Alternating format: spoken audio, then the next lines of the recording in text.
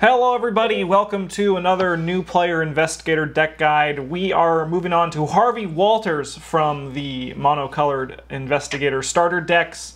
Uh, he is the Seeker, and uh, we're going to talk about, uh, give advice uh, from the cycle. We're not going to give you like an actual deck that you need to build, but just from cycle to cycle recommendations for cards that could be good. Um, in addition, we recommend that when you play. Um, when you first get the starter decks, just play them as they are. Just like learn the character, play it as printed, and then Travis has a little updated deck here, um, and then we're going to get into the nitty gritty from expansion to expansion. Uh, in addition, there might be something you heard of called the taboo list. We recommend that you play without it for your first time just to feel these cards in their true powerful potential. Uh, and last but not least, if you only have one copy of the core set, we recommend picking up another one or proxying the cards you don't have because having two ofs will make your deck more consistent for certain cards and make things better. Travis, why don't you talk about our boy Harvey Walters? Okay, well, Harvey Walters is he's a yellow investigator, so he gets all the good cards in the game. He's got great stats. He's got four brain, which is important for defensive purposes. He's got five book, which is good for doing things. One punch, which is way better than like any other number because you're not using it for anything. And two foot, which is also good for similar reasons. Mm-hmm. Uh, his unique card is Vault of Knowledge. I should talk about his reaction ability. When you draw a card during your turn, once per turn, you can draw one more. It's it's like really good. Um, you also can use it on other people too. So if someone else at your oh, yeah, yeah. Like if your teammate, it's actually very relevant if you're playing these together and you play with like Nathaniel Cho. Him being able to draw two cards a turn is pretty big. Yeah.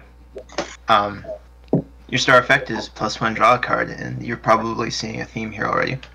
um, Harvey Walters likes to draw cards, and while I don't think he's the best investigator at the game at this hand size theme, he is he is very good at it. He has very good stats for it. Seven hearts and eight brains is surprisingly tanky on the heart side for your seekers. Yeah, he's a tough old man. Which is good because your unique weakness will mess you up.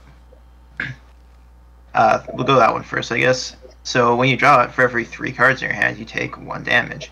Thank God this isn't direct damage, but uh, it's going to encourage you to have lots of assets in play to be able to help you soak that damage, because it can be pretty scary taking like three, four damage when you draw a card, and you're gonna see this. You're gonna see this more than once a game. Twenty-one cards. yeah. uh, his unique asset, Vault of Knowledge, very good. Three money. It's a talent. Doesn't take up any slots. Max hand size is increased by two. Another common theme you're gonna see here.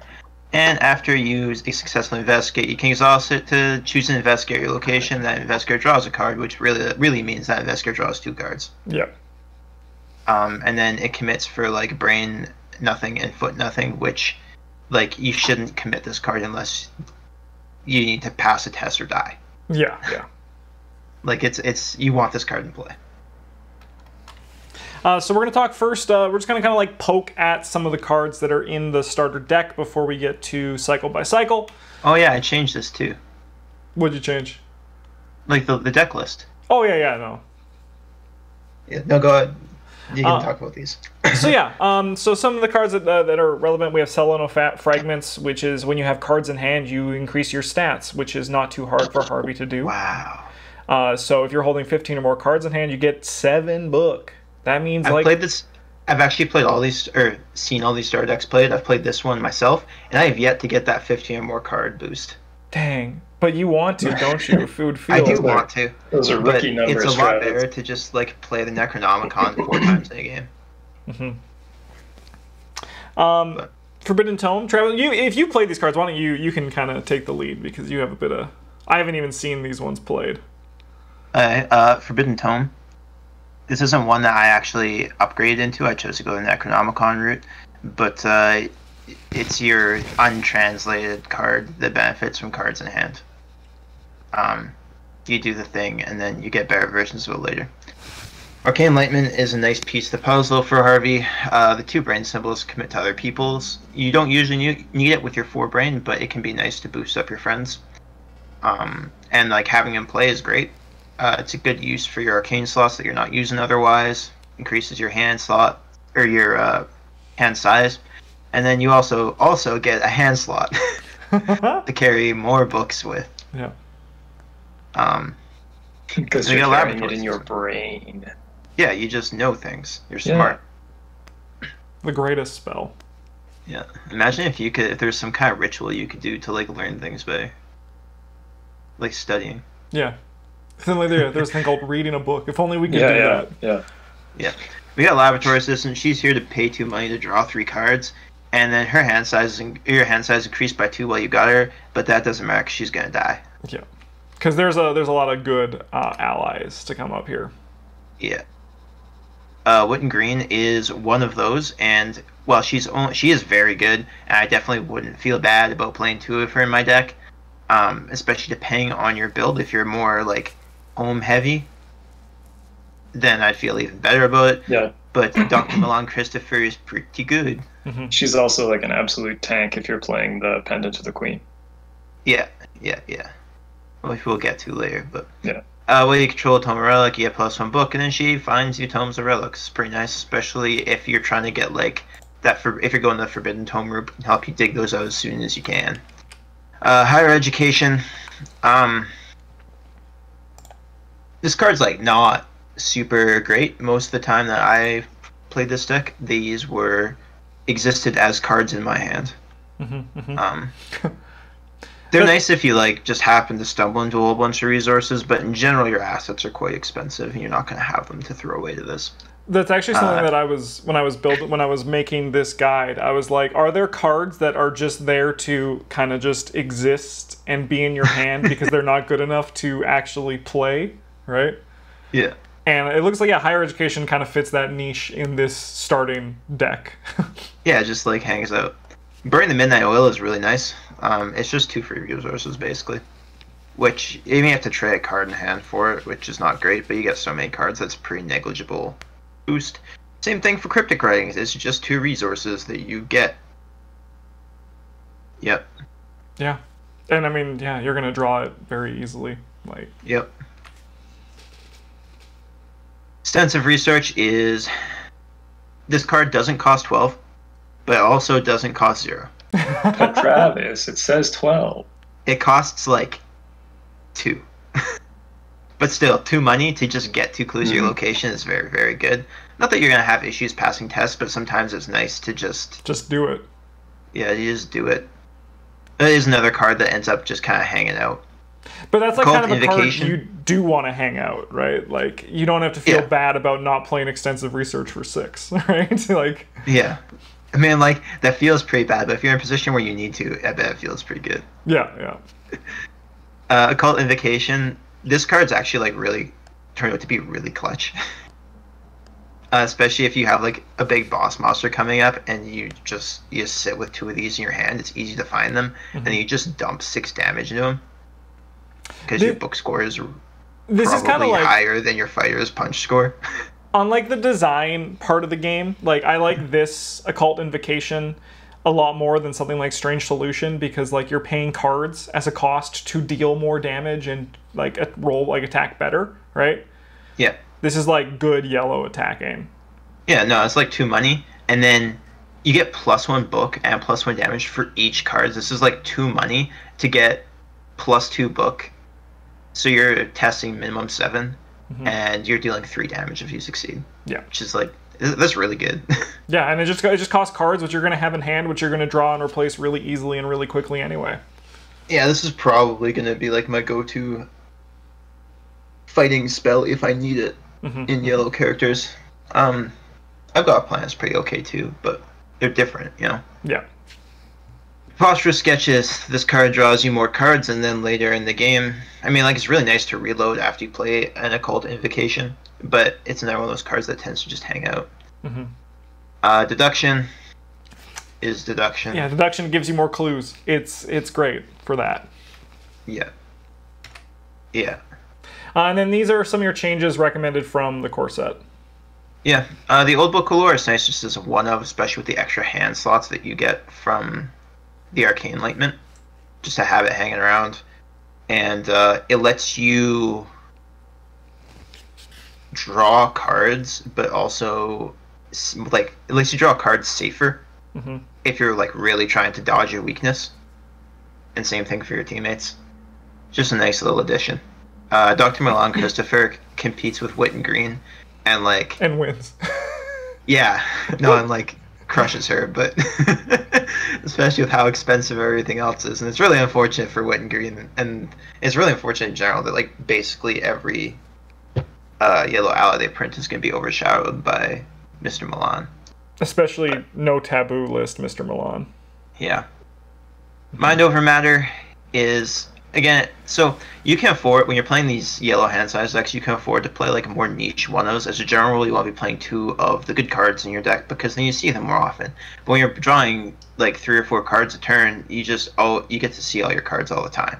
So you can afford to play like a one of mind over matter and you just have it sit in your hand forever until just in case you need it. Mhm. and if you don't need it then it's still just it's still contributing something. Yep. Which is like one. One card. uh, working a hunch is a free clue. Yeah. Again, like you shouldn't. You're probably not going to need it with your five to seven book you're going to be hanging out with, but free clues are good. And well, it kind of also doubles Yeah. up as well as uh, like it's a two. It commits for two books if you like don't need a clue, but you need to pass a book test or help someone else with a book test. It's there's that for And it it well. also it also helps you convert like actions spent drawing cards in the early game into clues in the late game. Yeah, yeah. yeah, you just hold on to it to benefit from your effects, and then like late game when it's really crunch time, you just suck up two clues. Yeah. Yeah. And then there's guts. And there's guts. guts. Whose turn is it? Whose turn is it? I'll do it. I've done the rest of the cards for this section. Guts is good because most of the time when the deck attacks, the game attacks you, it attacks you through your brain score. So having a higher brain score makes you less likely to take damage from those kinds of tests or to lose actions or whatever the game's trying to do to you. Mhm. Also, your teammates are probably going to have less than four b- brain, and it's good to be able to help them too. Also, Guts draws you a card. Yes, it does. Which can will sometimes draw you two. Sometimes. That's all right. All right, cool. Now let's start talking to just about the individual card recommendations that aren't in this deck, but just some other things that might interest you from cycle to cycle, starting with the core set. Um, unexpected courage and perception are basically just more stats. So unexpected courage is a guts that doesn't draw you a card, but it's also something else to help someone else at your group. Uh, perception is more books and also draws a card, which, as we said, can sometimes draw two. And flashlight, while boring, can help you uh, if you want to make sure that you're going to be able to get clues from locations. Essentially, It is worth knowing that the perception is like almost always going to draw you two cards, whereas the guts is only sometimes going to draw you two cards. Because most times you're playing guts, you're doing it to beat treachery cards in the encounter phase, and perception, if you're using it, you're probably using it to boost up your book for an investigation. That is fair. Yeah. Uh, and then flashlight isn't as, as it's boring, but it's good. And if you want to just make sure you're getting clues, that can be a way to do it. Yeah, if you're not on like the, the book, the tome synergy, then flashlight's a fine option. Uh, cryptic research says uh, zero, fast, draw four cards essentially. Any investigator location draws four cards. Your friends Yeah, will love let's- you. Let's be but real. you're not going to give it to your friends. Yeah. Let's be real. Yeah. Hey, sometimes you have like five cards left in the deck, and you have 16 cards in your hand, and one of the cards left in your deck is Thrice Damned Curiosity, and you're like, well, Yeah, but we know, Travis, you would put your hand down, look at your deck, and be like, hmm, what are the odds? I know it's 80%, but is it really 80%? is it really 8%, 100 if I can include my draw at the end of the turn? um, uh, then we got Disc of Itzamna, which is a way for you to defend against uh, non-elite enemies that may spawn at your location. I did notice that there is a non-experienced version in the uh, the starter deck that did not make the cut, so I'm just gonna. yeah, that one got shaved because, um, I mean, it's Oh, a yeah, fine just- card, but as a Yeah. general rule, you're probably playing this game multiplayer, or at least two-handed, Mhm. and Yeah, the You experienced don't like version is. play play 30 that cards on pile. Yeah, like I don't like devoting that many So- slots to dealing with monsters if I don't have to. I think Cult Invocation does a fine job of it. Uh, and then Bulletproof Vest is here if you're really worried about your thrice damned cur- curiosity. Yeah. Yeah, it turns out your curiosity was mob related. Yeah. All right, now we're into Dunwich Legacy, which has a whole heap of cards. Travis, do you want to take these four? Then I'll take the, ne- the next ones. Yeah, sure. Shortcut is good because. Uh, Bryn, you can do these ones actually. You know why these cards are good. So shortcut is another another way to uh, turn your early draw actions into different actions later in the game. So like, you know, maybe maybe you needed to have a giant pile of cards in your hand. You spent a bunch of time doing that. This helps you turn that into something different, uh, like winning the game. Just fast, fast move, and it's move anybody. So it's not even an action that has to be for you. Yeah. Uh, inquiring mind is just like uh, mostly mostly like unexpected courage plus. Uh, occasionally you won't be able to use it, but uh, in this guy it's less of a problem because you know one card in your hand is one card in your hand, right? Mm-hmm. Yep. Dr. William T. Maleson is possibly the best rate of return that you're ever gonna get for a damage soak. If we ignore his ability, which is also strong, like one for two two, that's pretty good. Uh, and then you can just put a clue back to draw a different uh, different treachery card. That's pretty alright. Mm-hmm. Let you dodge the really bad ones like Ancient Evils. Try to hit something with a test you can pass. And then I've got a plan. is uh, very similar to the uh, occult invocation, where it is an event that we can use to fight something and deal a giant pile of damage to it. This one doesn't give us a bonus to our book score at all. Uh, and also the damage scales off the number of clues you have. Yeah. Which so I it's mean, just a, it's like different, but it's like you're gonna Yeah. have six book, Yeah. assuming Doctor Milan's in play. Seven Yeah. if you have Celaeno f- fragments, and you're gonna have clues because you're yellow, right? It's just it's the same but different, right? It's like Yeah, you gotta put a little more like preparation into it. yeah, because you need a plan. You don't have to pay so much of an immediate cost. Yeah, yeah. mm, Oh, the strange solutions. So, uh, Yellow has this thing where they have untr- unidentified, untranslated, unknown things that then upgrade into better things as it goes. Um, this was the first one, so the strange solution. It upgrades into lets you fight as if you were blue, it lets you evade as if you were green and red, and lets you heal as if you just could heal willy nilly. There's another one too. yeah, There is and another there's one, another one. Um, but That uh, one gives you resources and cards. That's pretty neat.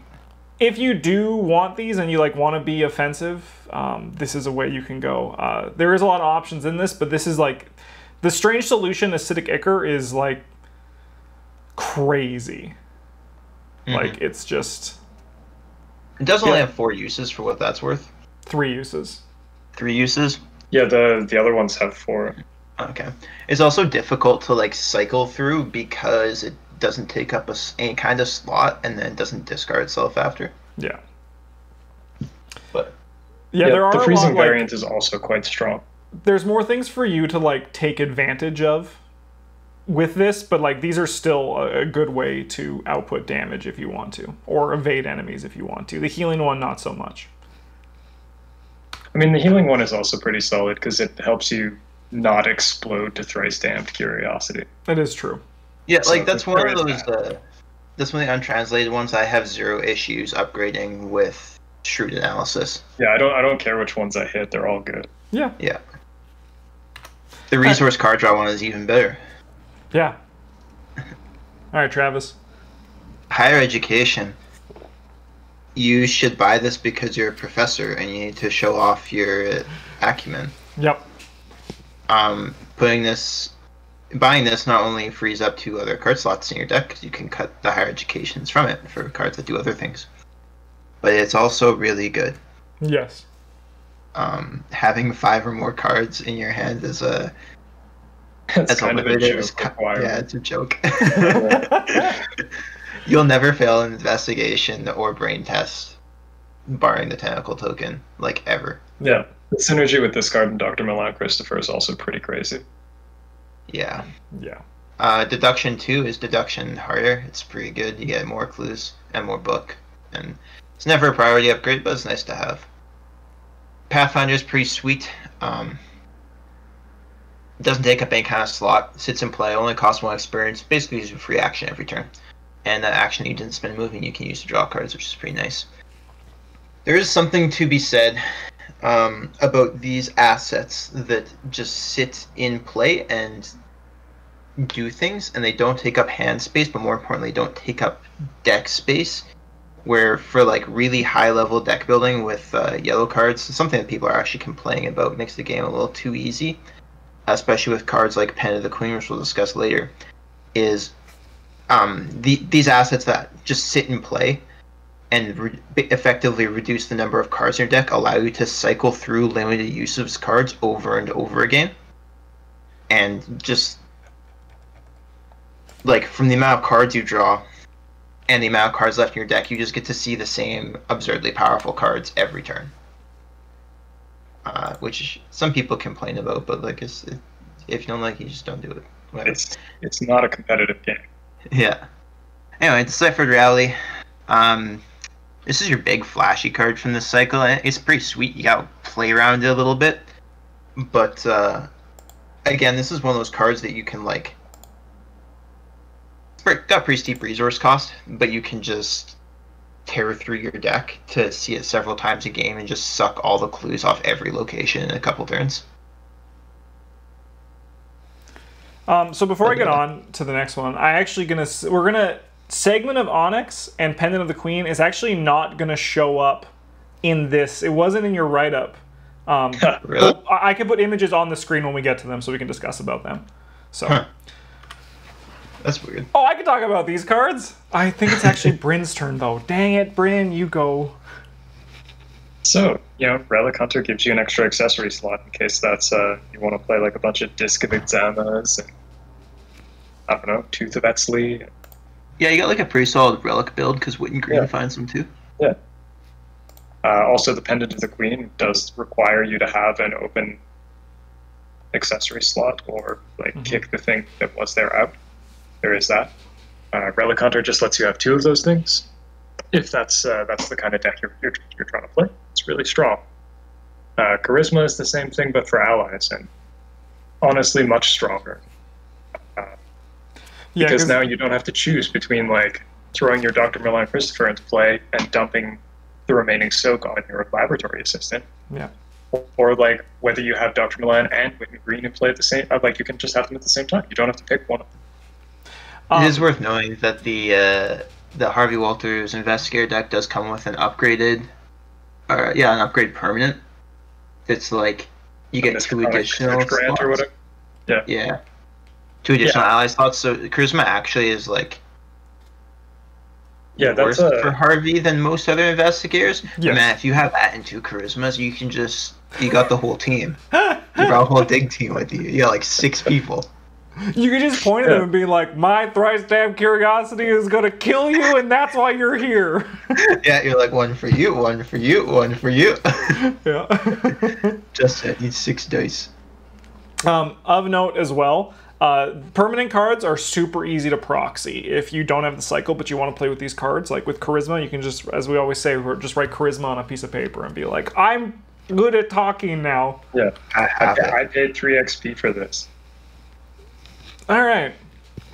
It's my turn, right? I always get these. Uh, the un- so this is another cycle of the uh, what the hell do these do? untranslated. Um, so it's it's a tome. You have to commit uh, discard cards with uh, s- book icon, which is super easy to do. You're gonna have a lot of those in your hand in yellow, and you're also gonna have a lot of cards in your hand. Um, of note, though, uh, this is in Travis's write up on ArkhamDB, which you can find down below in the description down there.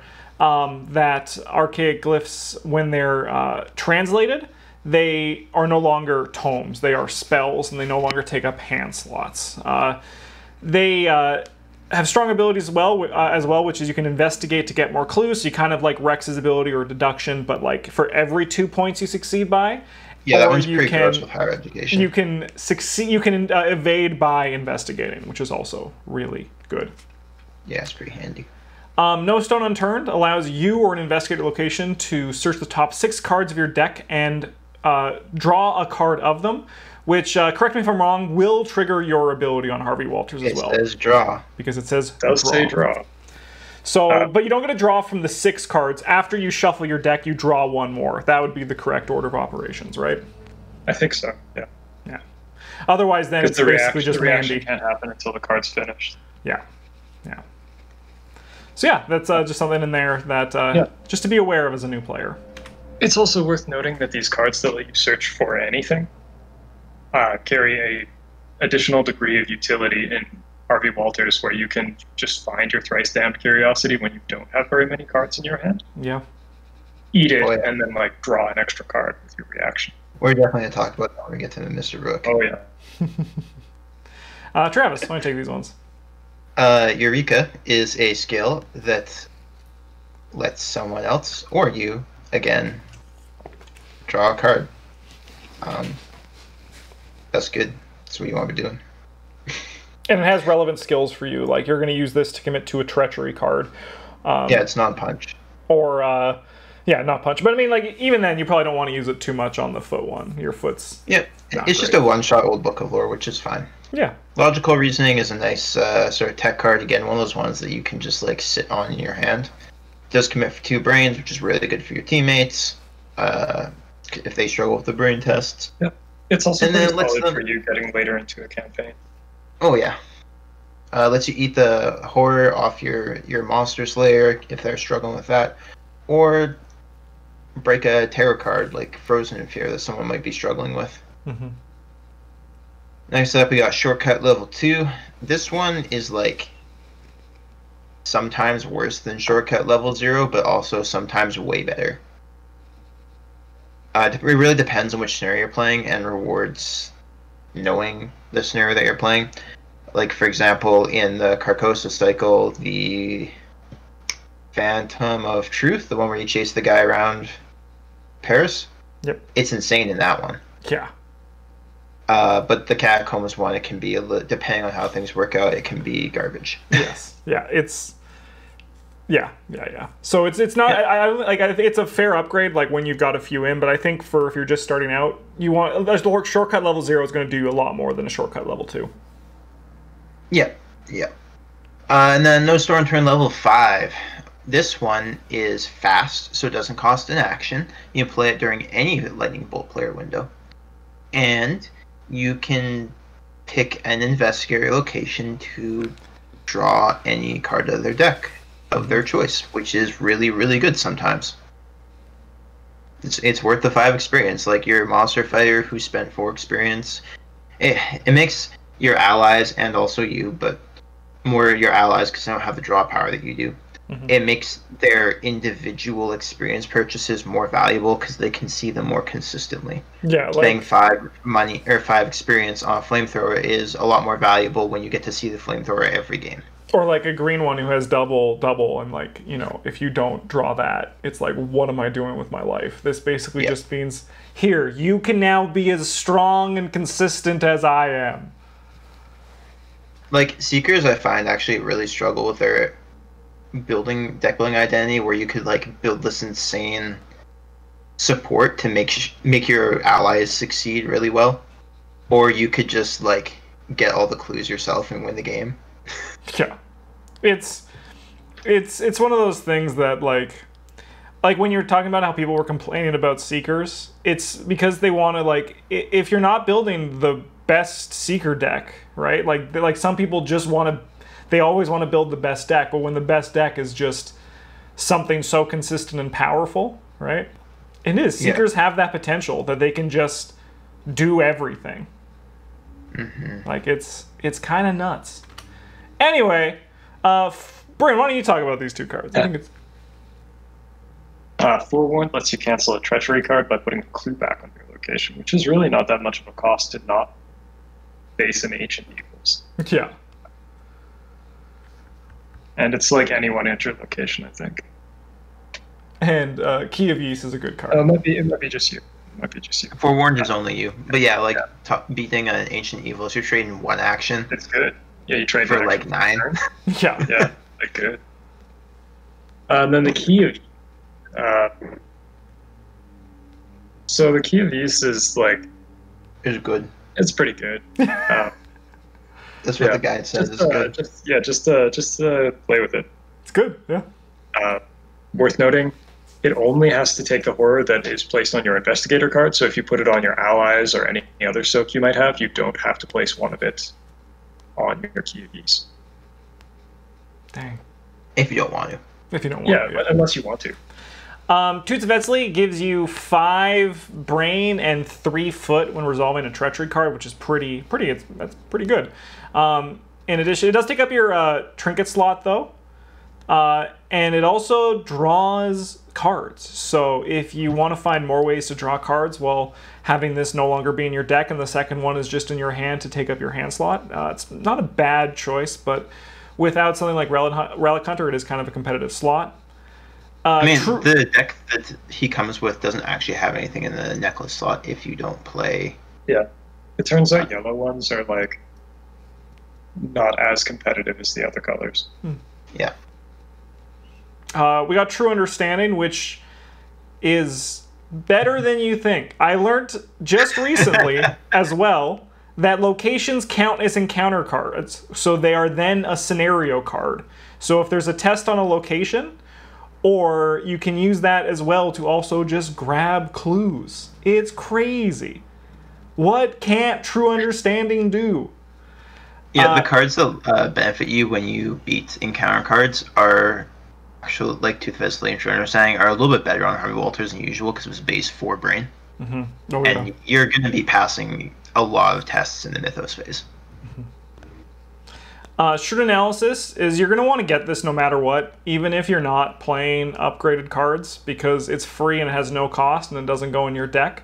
And then when it comes time to upgrading any unidentified or untranslated items you may have, you can get two for the price of one. And as we said earlier, stuff like the uh, Strange Solution, they're all good. Like they all. Yeah, it does work. have to be random, is the part that just is missing here. Yeah. You don't just Yeah. get to pick two. yeah. But I mean, like you get two, but like, and that's like the thing is like most of these now they're at the point where they're good enough that you can just be like, spin the wheel, Raggedy Man, and give me what I, you know, give I me think what I that get. With a full collection, this is actually one of my favorite cards to play with Seeker. It's just, it's a lot of fun. It is nice to be like, I'm gonna get value without worrying about making a strategic decision. Just, I'm just gonna Yeah, but also just like it increases deck variability, kind of. Mhm. Where like you don't know what you're gonna get, but you get to pick which pool of options you have. yeah. I don't know. Constraints build build creativity too, right? You can upgrade more things. Like you can use those to get cheap upgrades for those, and then like spend the rest of your experience kind of building around them. Yeah. Yeah, it just gets your deck stronger and better, quicker and cheaper, which is nice unless you do other things with it. Yeah. With that experience. Um, Feed the Mind allows you to test your brain, uh, your book, sorry, to draw cards. Then for each uh, card in excess of your maximum hand size, you take horror damage, which is not as bad as taking meat damage. Uh, and your hand size is going to be really high. So this can be feed the mind. You can do it to something to push yourself over the edge, or alternatively, you could use it to just draw cards when you need to, because if you need to like fill back up after some way that you ran out of cards in your hand and you want to get back up to the point Yeah. that you want to be. Right? That was maybe another one of the cards I weakness got. that, uh, discards all your cards. Yeah. yeah. This is a pretty solid hedge against that. Feed the Mind level zero was another one of the cards that got cut from uh, the base deck. Mostly because I think that Arcane Lightning is a better use of your Arcane slot.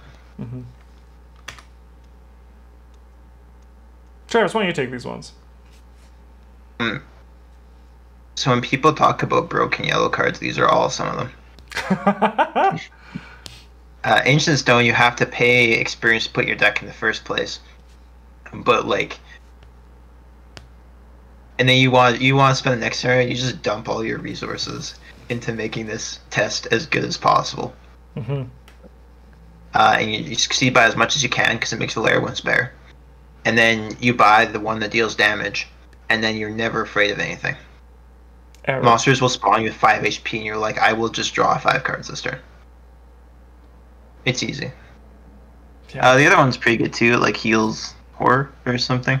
Yeah, the other one heals horror. It does heal horror, yeah. Yeah, there's another new one, Return to the Forgotten Age. That I don't know what that one does, but anyway, and then we got Pnakotic manuscripts, which uh, a big part of the game is testing against the game and like that sort of tension of I'm not sure if I'm going to succeed or not, and this just completely takes that out of it. Yeah. Uh, it has limited number of uses, which is seems like a downside, but you just when you only have seven cards left in your deck, you just draw it again. Mhm. Easy.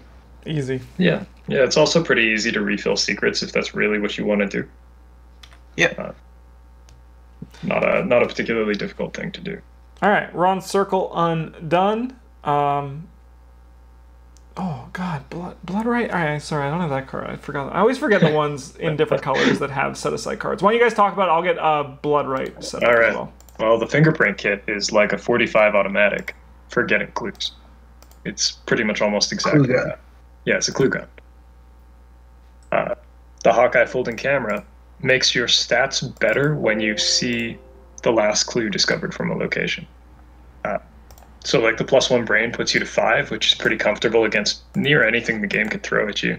It's great. Yeah. definitely mean comfort- pretty comfortable. Well, I mean, like sometimes, uh, sometimes, uh, sometimes they're throwing pretty big tests at you.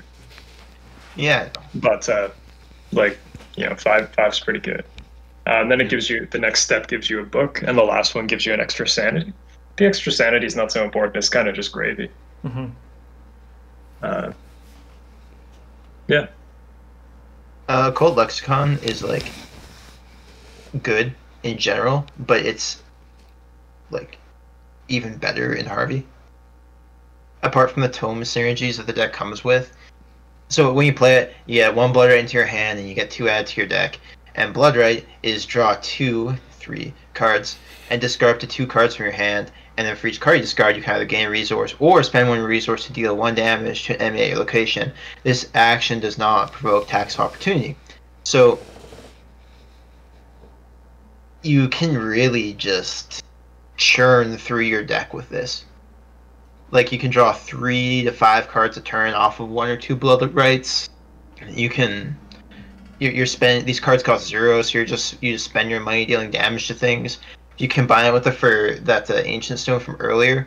You just like absolutely melt enemies. Kill i don't Yig in understand one how shot. the blood rite doesn't provoke attacks of opportunity like there's a guy in your face trying to beat the crap out of you and you're like hold on yeah. Let me just let and me you get just the find the right out and page. knife and No, it's a blood rite. You just slice open your hand, like smear it in his eyes or whatever. And he's like, ah. and we got one more card that's hiding that I want to talk about. This is Mr. Rook. Uh, this card's gonna get tabooed. Um, he's he's everything that yellow wants, and a lot that other colors would like too. He's an ally, which is a very competitive slot. But he's like the only ally that I would play over Dr. Milan without thinking about it, Mhm. I think. Like, I agree with that. You only get three uses at him, but that's fine. He's got two hearts and two brains. So he's like relatively tanky as well for three resources. And then his ability lets you search the top nine cards of your deck because you're not a coward. And you get to draw one of those cards. And if there's any weaknesses there, then you get to draw that as well. well, Notice how you, I say get have, to, not you have have to. you have to you, you don't you can't choose not to Yeah, but you get to. yeah it It's, is yeah, like it- it's It's a really feature, a not a bug. reward.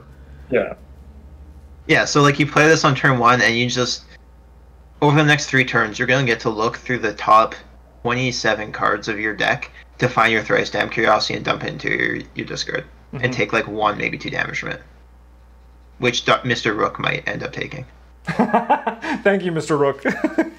Yeah, and then also you get other cards too, yep. and you I draw do. the cards, so you get another one. I do like the flavor of this guy, especially when you've got an enemy, or when, when your weakness is an enemy, like a stubborn detective, and you're like, Mr. Rook, quick, do you know how to get out of these ruins? And he's like, I don't know. Do you ask? Do you ask that cop? He got in here somehow. Yeah. And you're like, Yeah, this guy's like this guy. I think this is the Jackson Howard of this game. He's even yellow, but Action It's just- Jackson, you say. like they put him into not necessarily to finish it or fix inherent game flaw, but with like a noticeable downside that they thought was a downside, but it's not. yeah, they should have made it that if you find a weakness, that's all you draw. Like, then I mean, even then, if this guy only found weaknesses, I'd still consider playing him a lot of the time. yeah, but then yeah, no, I I agree. Like i he'd still be good, but he wouldn't be like as good as he is, right? Like Yeah. then his It's also a downside would actually you be can just. If there's a test that you're struggling with, you can use him, or if a encounter card comes up that's scary, you can use him to dig up a, try and dig up a forewarned or something to commit to the test or whatever to pass it. Like, he's so good. yeah. I mean, it's And- just secrets. being able to search your deck three times, like that's crazy. It's so strong and so Yeah, good. This is, and- this is another one of those cards that's like it lets you. This is another one of those enablers that lets you just churn through those. de- Like so, if you have ten cards in your hand, you have fifteen cards in your hand. You have five cards in play. Mister Rook lets you look through the rest of your deck every turn. Mm-hmm. Like that's ridiculous. Yeah. I think the only thing we'll see for him in Taboo is an experience increase. I think that's just a nice, clean thing they're going to do. Have him I, cost. I wish they'd do something a little more, but. Yeah, I mean, I but I do understand that they want to keep like cards printed as best they can. But I do think he needs more. But I think that's what's going to happen to him. But I wouldn't be upset if they like shaded a secret off him or two or something like that too. Mm-hmm. But whatever. Yeah, that's that's another that's another discussion for another video. Let's get to the next page where we got curiosity. This is while you have four more cards in hand. Please, Cards not a problem. hand. You get a even you get a guts and a perception. If you have seven more cards in hand, please, even easier. You get a super guts or super perception. Perception. So like, uh, Most seems good in Harvey. you don't get a super guts when your teammates gets a super guts. It's true. But I mean, no, but like you, you we say this, but we know how yellow players actually play. Like we know. I mean, like I wouldn't feel bad using this on like Winnie or something like that if she's trying to do a brain test. Yeah, But going like, no, at you four, can actually is do really it. nice. She's like, oh my god. Yeah. Be like, don't worry, Winnie. Your your curiosity and my curiosity, we have a similar bond here. Yeah. Um, death, it's tarot cards. They're very boring, but they're they're good, right? Like, Most of them. yeah, yeah. No, Four. That's an excellent point. Four of them are really good. yeah. Uh, Esoteric Atlas. Uh, it allows you to uh, move. Don't know what else more to say. Like it just lets you move quicker, which is really nice. Uh, you can also use it because it like you choose a location that is connected to a location connected to your location. You can use it to skip over like places that have monsters in them or places that do bad things to you for walking into them. hmm Yeah. Um, Uh, we got, oh, and then there's Studious, which uh, Cards I've never seen any of us play with, but I mean, like the card seems fine. Like it seems like, especially in something like Harvey, just get your engine going right away. Have six instead of five at the start of the game seems seems good. yeah, this one's just XP sink. Yeah, yeah. Then we got Glimpse the Unthinkable. Who wants to take this one? oh, this card mills you ten. N- no, it draws you cards. Uh, so you shuffle any number of non-weakness cards in your hand to your deck, and then you draw cards until you reach your maximum hand size. So, So if you have the weakness that makes you discard your hand depending on the assets in play, this could be Yeah. one resource, draw like 14 cards. yeah, so you have you have eight. Then Harvey Walters is unique, which is ten. Two laboratory assistants, which is fourteen, and then Dream Enhancing Serum. How many cards are you drawing? Arcane Enlightenment, that's another four. Sorry, which one? Arcane Enlightenment, that's another four. Oh my god. So 18 not including the fr- Let's Man, do I it. can I just want to see see it. I want to see it, Travis, please. I can, I can just see Travis throwing this card and then not realizing that the last card in his deck is a thrice damned curiosity and using his reaction to draw an extra card and just being like, oh, I do need to explode myself from seven with uh, Thrice Damned Curiosity at least once. I agree. It- it- it's you're not playing true Harvey Walters unless you really are that curious. yeah. I gotta know. All right. We are now into the Dream Eaters. Bryn, why don't you talk about Practice Make Perfect? So, I hadn't really looked at this card before, uh, and I, I played it quite recently. And every time I played the card, I had to ch- stop and read it again to make sure I wasn't cheating, because it feels so strong. Uh, you get to look at the top nine cards of your deck for a practice skill. Like deduction. Yeah, like I mean that doesn't that doesn't sound good, but things like de- deduction and perception are practiced. Uh, and if you get to if you get to like pay one to draw a deduction and commit a deduction, Mhm. to your current test, that that's like a pretty solid rate of return. I mean, I would love to play Yeah. More than one deduction with a single copy of deduction in my hand. So yeah,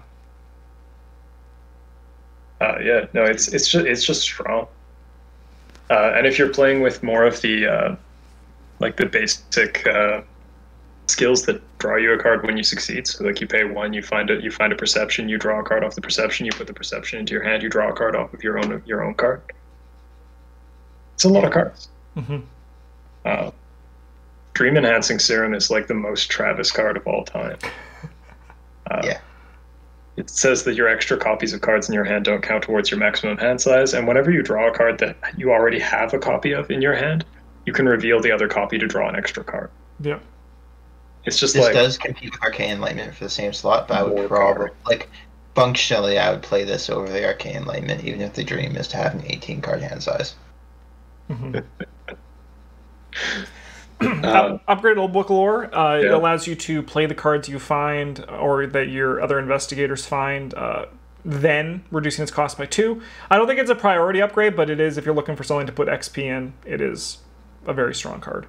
Yeah, it's, especially if you're limited and you're like in the cycles that you have. Mhm. Full book lore level three is pretty good. Yeah, it's also very strong if you're playing alongside a blue character, where you can be like, "What do you What do you got over there?" And they're like, "Well, there's a lightning gun on top of my deck," and you're like, "Cool, it costs three. mm-hmm. Yeah, Just do it." Yeah, it's, it's also an economy card. It's not just a Mhm. Yes. card draw card. Our last card here is Segment of Onyx, which costs one, and it is myriad, so you get three copies of it in your deck, which is good because it would be useless without that. It's fast, so it doesn't cost you anything to, or uh, any actions to play it, and it's a lightning bolt. When you have three copies of Segment of Onyx in play, then you get the Pendant of the Queen, and the Pendant of the Queen does everything it takes up your accessory slot, but then you can only get three charges, oh boo hoo, but you can take a clue from any revealed location, or you can move to any revealed location, or you can evade an enemy at any revealed location. For not even an action. Um, cards like nuts. It might seem like it's tough, to put you. Oh, I have to draw three copies of pendant or of shard of onyx or whatever. But who cares? You're gonna draw your entire deck three times in a scenario at least. You know, lately I've been back in that Dunwich uh, mindset. I'm like, I look at this card and I'm like, yeah, sure, why not? Wh- Why not? Like, green still has to literally like sacrifice a goat to make sure that their cards work as good as they should. And you know, you just you're drawing cards anyway. You get your pen. You just do it. Yeah, Fantasy Flight's like elusive cost to experience, and then they're like, but hey, yellow, hey seekers, you want to do that for one experience And to get it three times, yeah, three times? you don't have to be engaged with a monster. And then, and also when it runs out, it you can do it again. Yeah, that's the big thing is you put the pendants back or the shards back in your deck, and you just you just draw them again. If only there was a way that look at cards. If there only was a way to cycle through the ten remaining cards in your deck, through which are all or three of them are a segment of Onyx. If only, Like- right, Travis? If only. Mhm. If only there's a way to look at the top nine cards, the ten remaining cards in your deck, and pull out a segment of Onyx, and then draw another one. Yeah. This card's also like pretty crazy with backpack. Yep. Where you're just like, how many cards are left in my deck by the time I've found all the segments and put together the pendant and then used up all the charges on the pendant? Like, backpack Yeah. probably looks at every card in my deck. And the shards are even just like they seem like they're bad, but they're just they just sit there and they're just cards in your hand. Yep. Until you need to play them to. No. and then you just you don't even have to spend actions to play them. You could like have an enemy pop out on you, and you're just like, ah shit, spend three resources, get the pen of the queen, evade it, see ya. And you haven't even spent an action yet. You get to play the rest of your turn. Good old Seekers. Uh, why don't you guys talk about Otherworld Codex? Dude, I thought it was Otherworldly Codex the whole time. Yeah, me too. Brandon, do you know what this card does? Uh, yeah, this is the one with secrets that lets you look through the encounter deck, right? Yep. Uh, maybe. Yeah. I asked you because I don't know. Uh, so this one, uh, it's a it's a tome that you can, as an action, exhaust it and search the top nine cards of the encounter deck, and then choose a card you found, a non-elite card you found and discard a copy of that card from play. Um, I think a big thing that we talked about in our review for this card, and I think it still stands here. This one does become better when you like know your campaign you're going against. Um, yeah, I remember this one now. Uh, with Yeah. Dream Eaters, it actually is better. I Uh, think there's uh, there's a lot of campaigns it's good in. Like it's really strong in the Circle Undone, it's very strong. where they're It's like a- Fate of All Fools, and you're like no Fate of All Fools. Yeah. It's also quite strong in Dunwich, I believe. yeah. Lots of frozen fears and like, especially Return to Dunwich when you got them whippoorwills coming after you. Tweet, tweet, You're marked for death or whatever. Yeah, this Yeah. is another tome for that archetype. It's Yeah. nice. Yeah, yeah. Oh, Dream Diary. You guys, you got. I'm just gonna put my hands up and let you guys talk about Dream Diary. and I'll get that card that they also talk about. Okay, so Dream Diary level zero is untranslated, like a bunch of the other cards. And as an action, you can search upon cards for Essence of the Dream, which is just Unexpected Courage. And as a reaction, after you succeed by three or more during a skill test, if only you had a, a skill that you could boost up to seven with your Essence of the Dream. And where there's like quite frequently ways to test against one or two. Um, only. yeah, but then you write your campaign log that you've interpreted the dreams. And Bryn, you can talk about the other two options, and then I'll talk about the good one. The one that I think is the best for exactly Wow. this situation. Yeah. yeah, so we've got three different dream diaries. Uh, we've got Dreams of a Madman.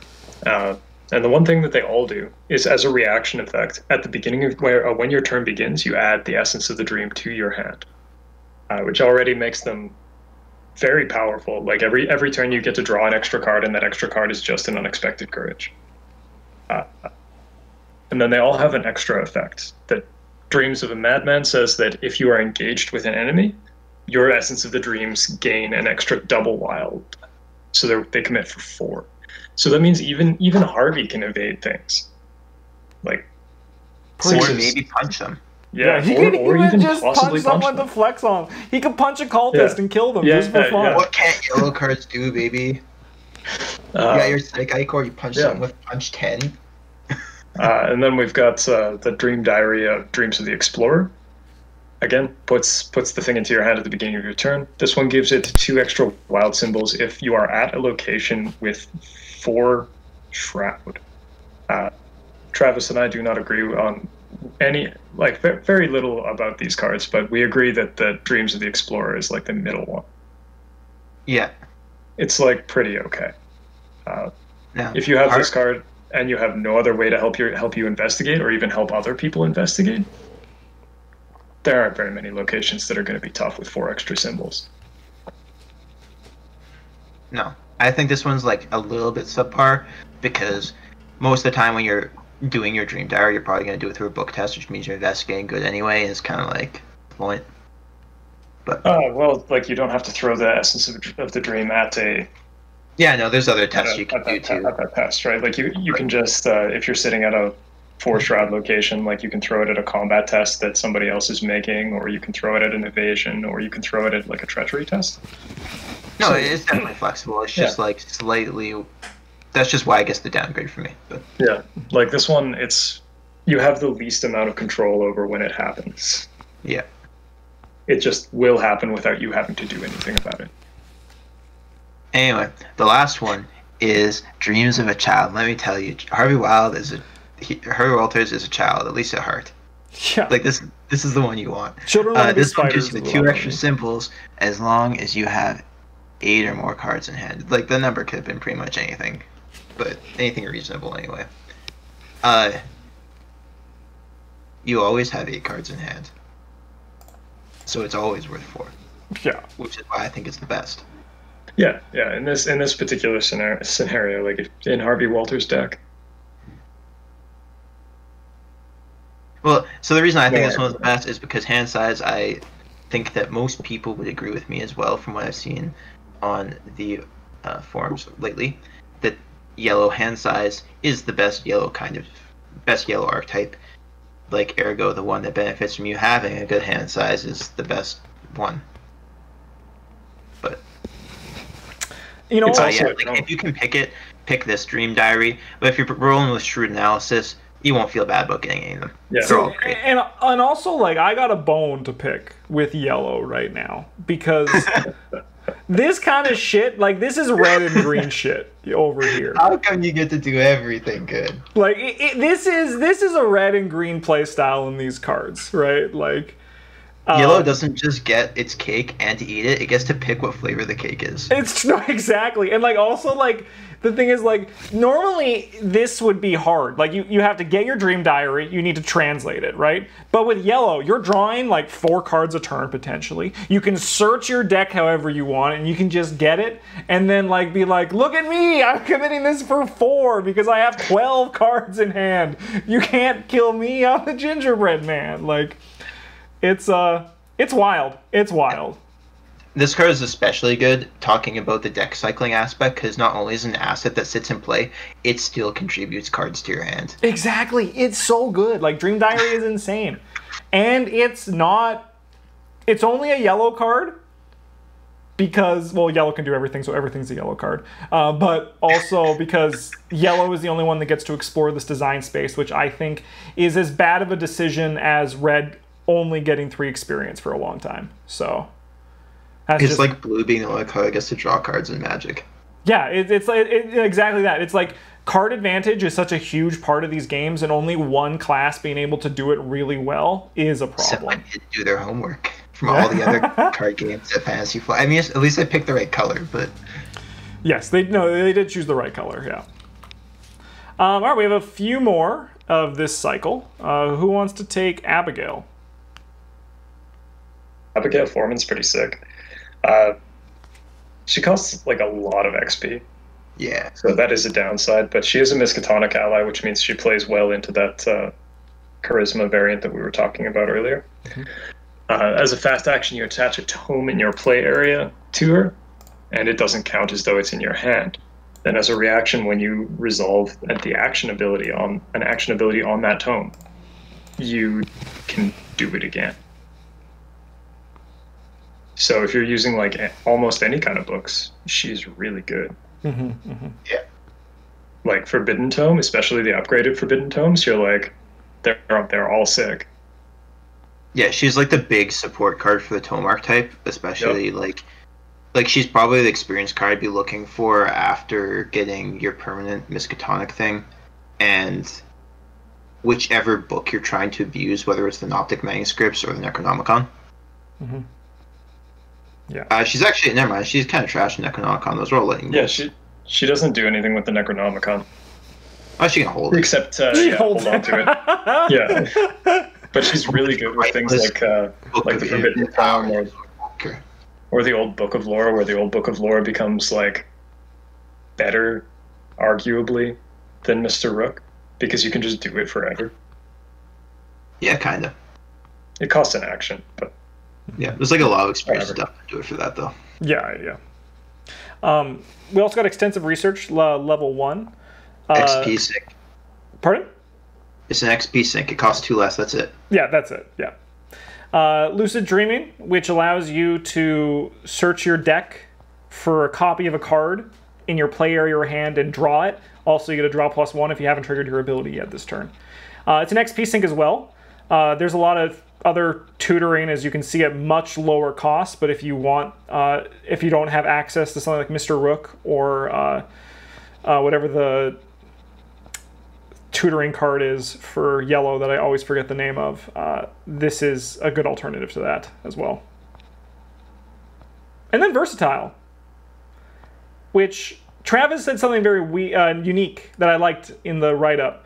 That like versatile is a great way to just combat um, your thrice damned curiosity, right?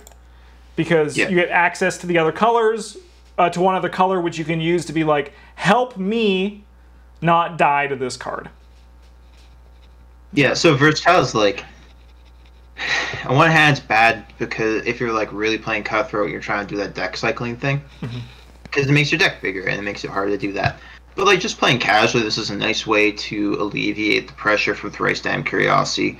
Once again, uh, you only get one card from that color, but playing the hand size builds, having niche one ofs is better than like a lot better than usual because you see it more often. You can just hang on till till you need it. Mhm. Whether it's like a persevere from red or something like that.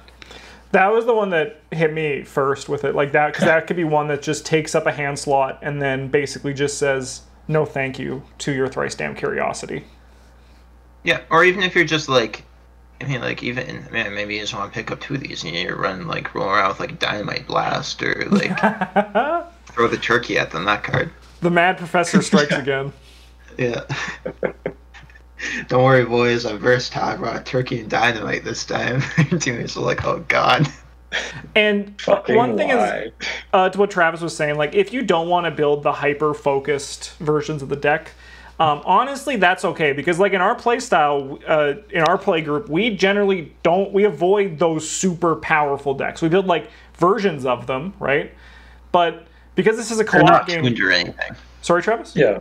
They're not tuned or anything. We definitely go out of our way to play things that we think are fun or that would be cool or thematic or just make for better entertainment value than Yeah. things that are strictly good. And, I like, think that's- versatile fits that really well. and that's the power a Yeah. co-op game gives you right so like that's what you can do you can choose the level of how intense you want to go with your deck building it's Well, Yeah, you better believe if we were like playing on expert, I'd be playing like that Patrice deck I played, but like more focused, or I'd be playing like Mandy Wall or Mandy Thompson every time. and i'd be Just playing cycle- lola hayes I yeah, I'd, I'd be playing like a blue deck, but with the Winchester, and Travis would be like, "Why are you doing this to me?"